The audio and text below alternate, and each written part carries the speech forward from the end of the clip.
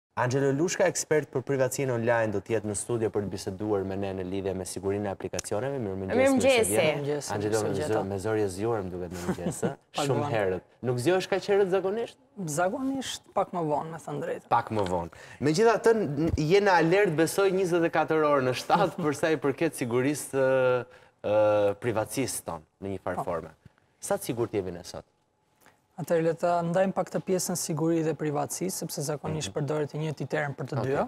Po. Por siguria në vetvete është diçka tjetër nga privatësia, edhe pse ndërthuren në një farë pike. Mhm. Atëherë për pjesën e sigurisë online mund të themi për shembull për të dhënat tona, të cilat mund të jenë konfidenciale.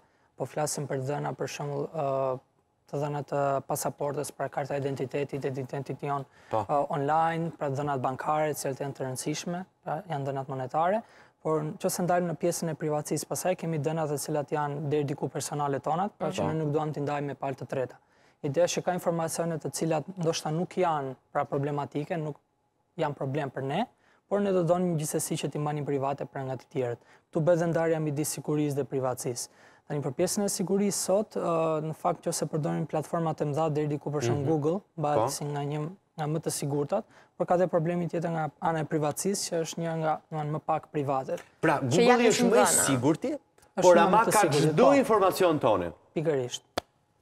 Di ku jemi, ku shkojmë, fotot që kemi, çdo gjë. Dhe këtë gjë e dallojmë, sepse sa herë edhe mund të shkarkojmë ndoshta, edhe në telefonat, si mund ta kuptojmë këtë pjesën e privatësisë, është që kur shkarkojmë diçka, thuhet që ke dëshirë ti që telefoni ty të të ndjek, ku ndodhesh, apo të përdor algoritmet për të të shfaqur reklama? Jo, ai pyetjen nuk ta bën kështu. Ai pyetjen ta bën, ai pyetjen ta bën, a do ti të jesh preciz nëse të humbet telefoni?